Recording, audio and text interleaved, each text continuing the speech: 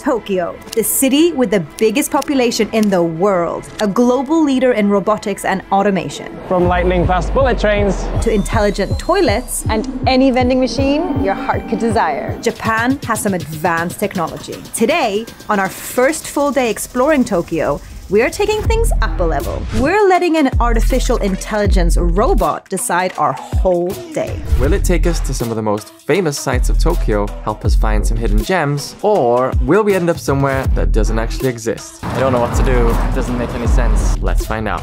Good morning from a very dry and beautiful and calm Akasaka here in Tokyo, Japan. Today we're going to be using ChatGPT to decide what we do all day long. Now, if you don't know what ChatGPT is, it's an artificial intelligence chatbot that you can ask it to do pretty much anything. You can ask it for a cake recipe, you can ask it to write some HTML code, or you can even ask it to write you a poem in a language that you don't even speak. The first order of the day is obviously going to be breakfast. We're going to first say who we are because I want them to specify who's eating what. We are Adriana and Dolan. We want to buy some breakfast in a Japanese 7-Eleven, Lawson's or Family Mart shop in Tokyo, Japan. Which one should we go to and what should we buy? Please include a drink each. And just to be safe, we've said Adriana does not eat meat. I'm having onigiri with seaweed and then inari sushi, a salad. This constitutes as a salad, right? Yeah, and a drink. And the green tea definitely looks like green tea to me. So I'm having an onigiri, kirinameyo, tamagoyaki. You have a tamagoyaki?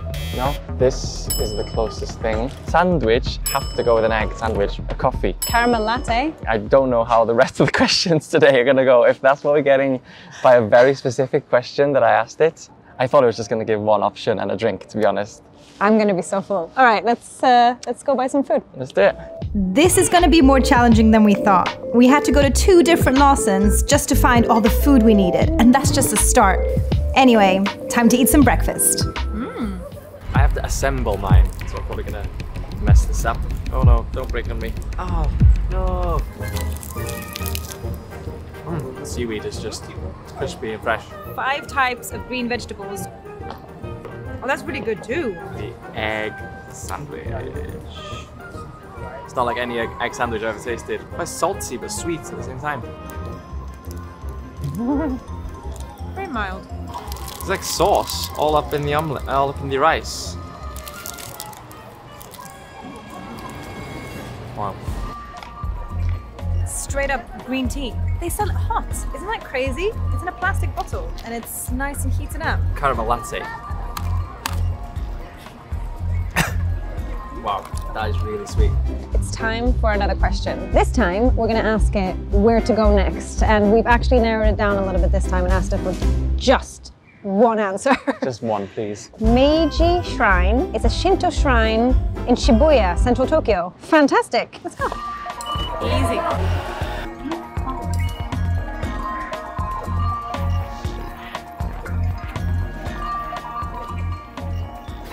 These are actual barrels of sake that are offered here every single year for the deities that are enshrined here, which was Emperor Meiji and his Empress. How cool is that?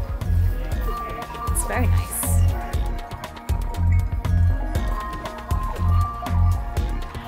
We haven't even gotten to the main shrine yet, but there's loads of these huge gates that you walk through.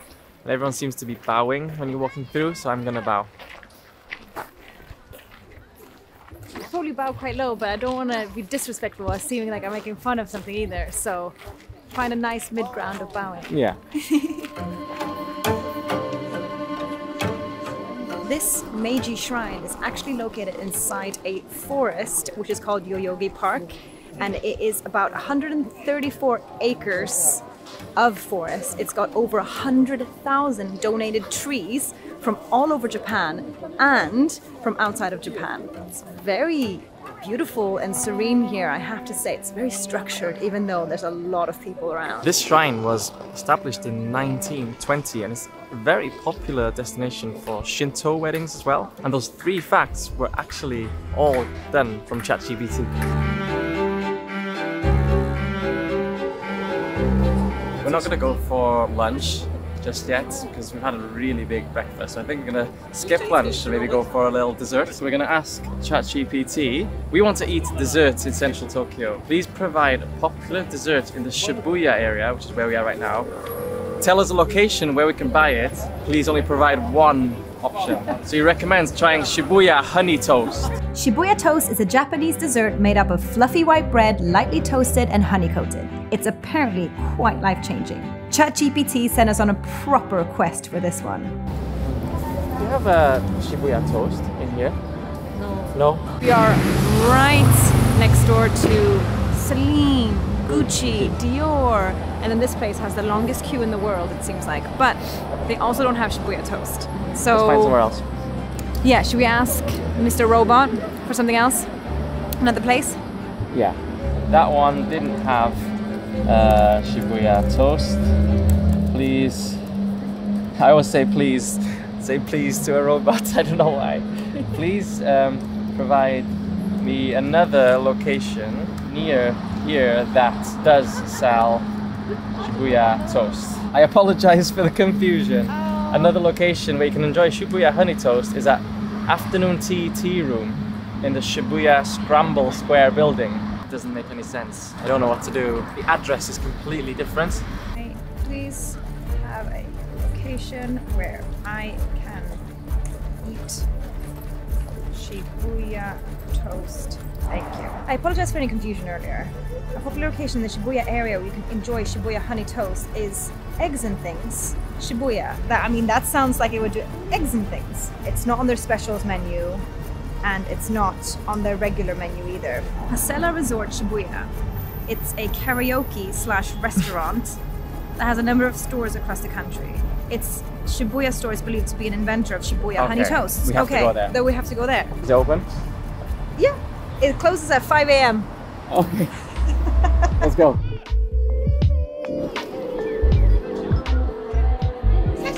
Did you hear what he said? Who? The turtle? No. He said subscribe. Oh. Is this it? I don't know if this is down. Ah. If we want to eat something, can we do that here? Or also singing? They have a reservation. no. Uh, sorry, we're Fully booked booked? right now. Oh, okay. Even just to eat? We don't have a restaurant. Okay. Oh, so sing and eat. Ah, okay, okay, okay. Okay, so it wasn't a restaurant or karaoke.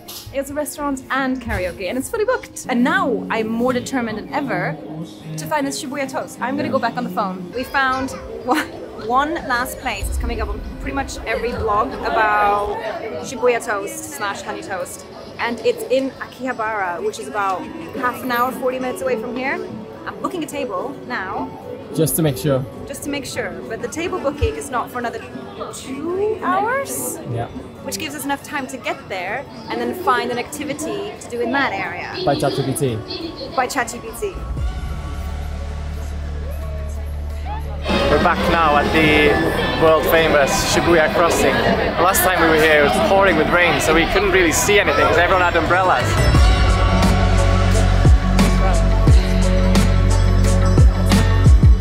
A lot of people just stop in the middle to take photos. We've got another hour until our booking, but we're now in Akihabara, which is known for their anime shops, electronic shops. I can see already there's loads of lights. It looks very, very crazy, yeah. I don't think it'll be difficult to spend an hour here. All right, let's find out what there is to do here in Akihabara. What is there to do in Akihabara? Explore the electronic stores, shop for anime and manga, visiting gaming arcades. Yes. Oh, That's the winner. this way. You can win a cup noodle. I mean, that would be a solid dinner, but we are going to a cafe in a moment. Oh, the arcades are that way.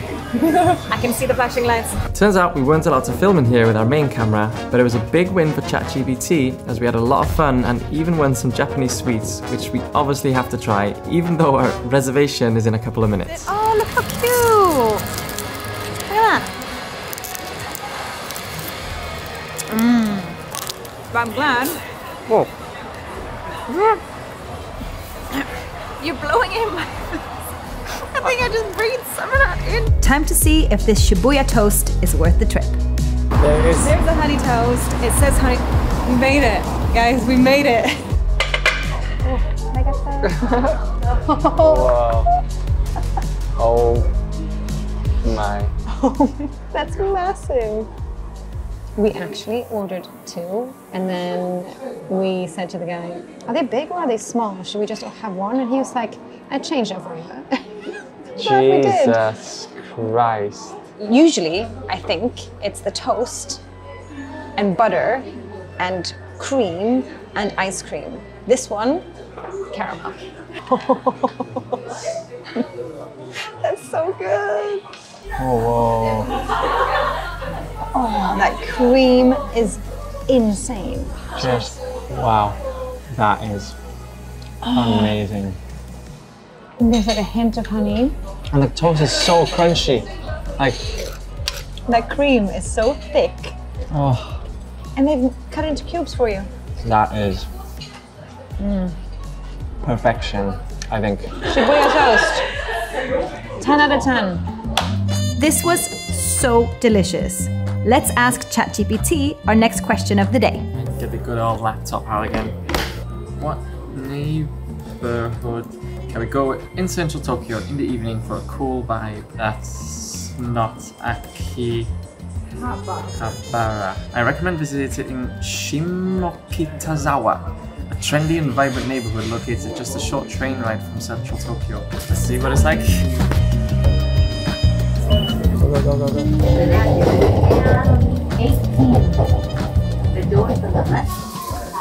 Just walked out of the train station and everything's lit up. It's quite cute. Looks like there's a few restaurants already around here. So I think have a look around and then see if we can find something to eat again.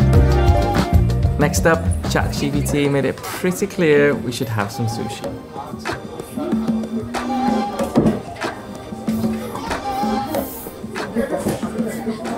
Really come to Japan and not have sushi. Basically, in these restaurants, you have a conveyor belt going around with sushi on it, but also you got an iPad right in front of you where you can choose what you want to order. You can order salmon, you can order corn, corn. You can order beers, cheers, or there's green tea. Yeah, you At the get table. free like a little pot of powder of matcha and you can just and there's a tap that literally brings out hot water and you can just make your own matcha. So, is it worth using an artificial intelligence chatbot to plan out your day in Tokyo? Probably not. No. I would advise against it. Not because it's not giving us good information, but it doesn't feel very up to date and it cannot read between the lines. I feel like if a human had planned this, we would have got the right place at the right time. Because we wasted two or three hours looking for that honey toast. Yeah, Uh, but in it the was end, worth it. It was worth it. We're gonna enjoy sushi. Cheers. Bye.